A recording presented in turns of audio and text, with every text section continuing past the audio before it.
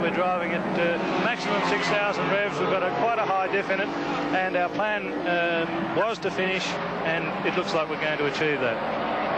There's going to be a finish uh, after a lot of strife and a great reward for persistency. Well, this is our first uh, ever finish in a manufacturers' championship race, Evan, so that we're uh, on top of the world at the moment. How many have you tried? I think we've entered at probably about 15. This will be your first finish. We our first finish, and uh, we look like we'll, we, we could well be in the first 10 cars too.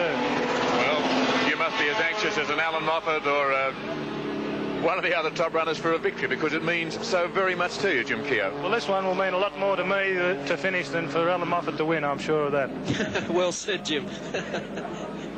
and meaning nothing against uh, Allan, but of course, uh, John Goss has been in and out of the pits. Uh, would seem that uh, the Falcons had started uh, today's race, your car and possibly the Goss Pescarolo car will be the only two Ford V8s to finish the race. Well, Gossie's had his share of problems. Uh, just 30 seconds ago, he was still sitting at the end of the pit lane. I don't know if he's still there now. Couldn't get the car restarted after an unscheduled pit stop. I think that uh, they were up against it from the start because uh, John uh, didn't get the car to the track until Thursday. And, uh, in his first two laps, he crashed the vehicle, and they spent the next two days in Bathurst trying to repair it. And so that uh, it was obviously a very, very hasty preparation, and uh, he was doomed from the start, I would have thought. Yes, uh, preparation seems to be the uh, the key to everything. Uh, one only has to look at the the Marlboro dealer team for that, Jim. Just looking at our car running around now, I just wish that we had the mechanics and the money to put into our little car that uh, some of those cars out front uh, have put into them because uh, I tell you what, those drivers aren't that much much better than Johnny Man and I. Okay, tell me this, uh, very interesting, but we don't really know the official figures of, of the big budgets of the, maybe the Marlboro Holden dealer team or Allan Moffat sponsors, but uh, what sort of money have you put into the Bathurst exercise for this year?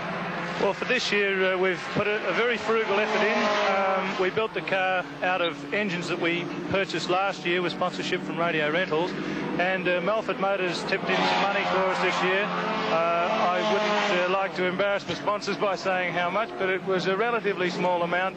It was just enough to cover our expenses, and we haven't bought any, virtually any new parts for this meeting. But we did build the thing out of the best possible uh, stock of our spare parts. Yes, in terms of uh, of cost exercise though for Bathurst. Uh... Oh, the, the, parts involved in, uh, that'll be worn out uh, just in this weekend for our car alone would be probably between five and ten thousand dollars. Yes, just the parts alone, let alone the hours of labour in it. Yes, I guess it's very hard for our viewers around Australia to understand that as being a frugal exercise. People cannot understand how you can spend money on motor racing, but I'll tell you what, it's just like standing under a coal shower and ripping up $50 bills. I think you have to be a spendthrift with a sense of humour to be out there. Yes, well put, Jim. Thanks very much for your time.